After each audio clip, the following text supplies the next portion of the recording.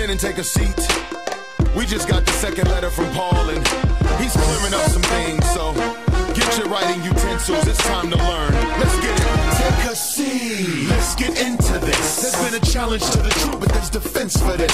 Since Paul's first letter, there's been need for another one. Cause the other one was compromised by a cover up. Another one, cause some of us thought Paul was sending. Wait, slow up. Let's just start from the beginning. First, Paul felt morally indebted just to give thanks and increased love toward the saints. For this reason, Paul bragged on us. Because we all persevered through attacks on us. And these attacks are evidence of his righteous judgment. Proof we've been proven worthy of a righteous covenant. And don't sweat the haters because God is just. To punish them and give you rest. So in God we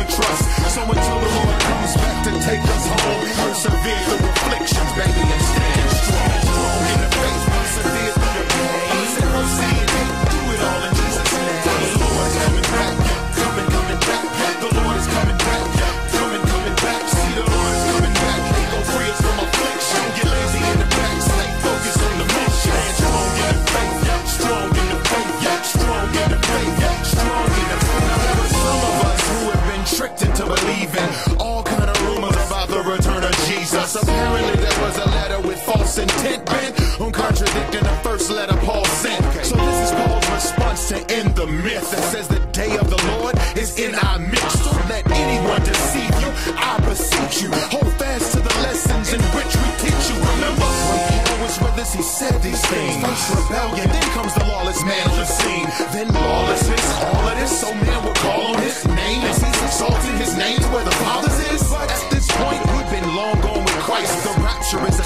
and not him coming back twice. Day